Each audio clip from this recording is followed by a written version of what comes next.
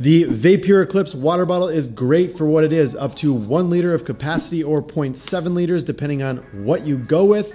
And it's optimized for travel. It's highly compressible and you can just stow it away into your bag when it's not in use. I'm Tom, the founder of Pack Hacker, and we love helping people optimize their travel experience with guides and reviews just like this one. So if you're new here, consider subscribing to the channel. So let's jump right into our review of the Vapur Eclipse water bottle, a bottle that we've been testing for over a year.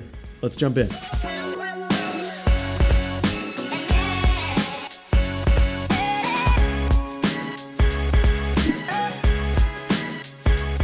The Eclipse version of Vapur's water bottles all come with a matte finish and there are a ton of different colors available. We personally dig the matte look, however with a bunch of usage, it can start to chip off over time. There are a ton of other choices in style as well, in addition to the matte version. We have the night blue version, which features an orange carabiner clip, and then we have the blackout version for testing as well. That's gonna be a black bottle, black branding, and a black carabiner clip. From a branding perspective, you'll basically just have one Vapur logo on the bottle and they don't overdo the branding. The bottle material is made with a BPA-free polyethylene and nylon that's welded at the edges to hold it together. This thing comes in two sizes, 1 liter and 0.7 liters. However, in the compressed state, they're both basically the same size, the majority of the space being taken up by the carabiner and the cap. You just have a little bit extra width, little bit extra fabric that's rolled up. It's really easy to compress. Just make sure it's empty, open up the flap on that super cap, roll it up, toss the carabiner clip to hold that rolled material in place. In a previous review, we have covered the Nomader collapsible bottle as well. However, we found that this is just way too bulky compared to the Vapur Eclipse and if you're really looking for a compressible water bottle, the size that it is while it's compressed is a huge thing. This is where Vapur really shines, creating a very small footprint and access to a vessel that holds 0.7 to 1 liters of water, depending on the size that you choose. This is perfect for having an empty water bottle in your carry-on without taking up extra space. So say you're at the airport or something, just pop through security, then you can fill this up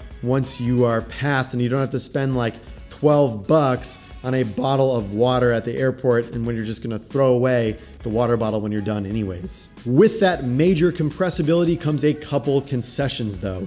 Although you can put this water bottle into a freezer with liquid to have ice inside and keep your drink cold, there's no additional insulation that's gonna keep your liquids hot or cold. How much do you care about cold water on the go? Our team is split. I personally don't mind it, however, some other folks on our team want cold water while they're traveling. We took a poll over on our Instagram and we love sharing the results here. If you want to be involved for future polls, head over to Instagram and follow at PackHacker. Anyways, if you're looking for an insulated bottle, you might want to check out like a Klean Kanteen or a S'well bottle, ones that are metal and non-compressible. Just remember though, this is where the Vapur excels, is in the compressibility of the bottle when not in use. Another bonus of Vapur is the included carabiner clip that you can hang off of backpacks even when your bag doesn't offer water bottle compartments. So we're looking right at you, Patagonia Arbor Pack.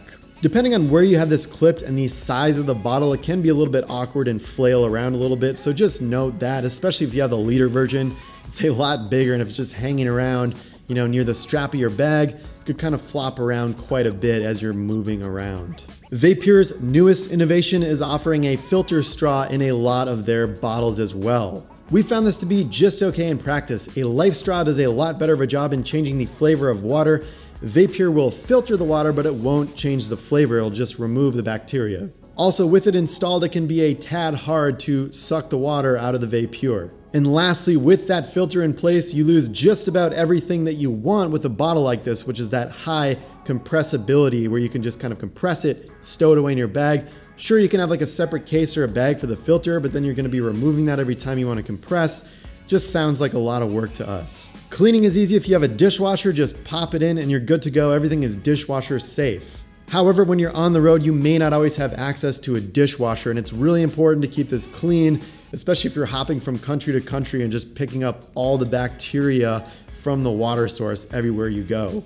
Although the mouth of the bottle is super wide, it's hard to fit a rag or a sponge inside unless you have a special bottle cleaner. When you're on the road, we found the best way to clean this thing is to soak it with warm water and soap and kind of rub it around a little bit and let it soak and then wash it out as well as you can.